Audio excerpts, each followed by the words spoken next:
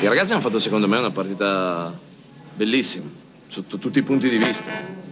Almeno quello che, quello che è sembrato a me. Ma alla fine, se, se proprio vogliamo vedere un pizzico di rammarico per due o tre occasioni importanti che abbiamo avuto, dove magari pote, potevamo anche vincere la partita.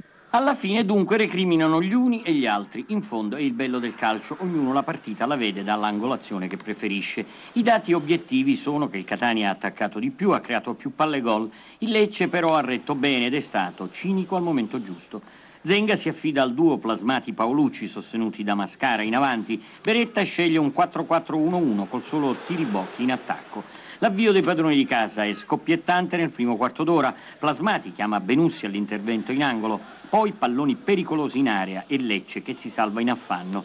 Dall'altra parte Tiribocchi manda un sinistro al lato. In chiusura di frazione la palla buona è per Stovini che, come testimoniano le immagini, non è un attaccante. Catania poi ancora più determinato al via della ripresa. La botta di Paolucci scheggia il palo esterno. Poi ancora il centravanti si fa intrappolare il tiro cross dal portiere. I rossazzurri passano al quindicesimo. Paolucci raccoglie un pallone in area e angola il sinistro quanto serve. 1 a 0.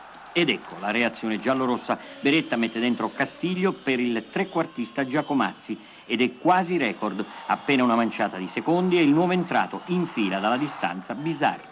A questo punto Zenga le prova tutte in campo tedesco e Isco nella speranza di un cross buono da sfruttare in mezzo.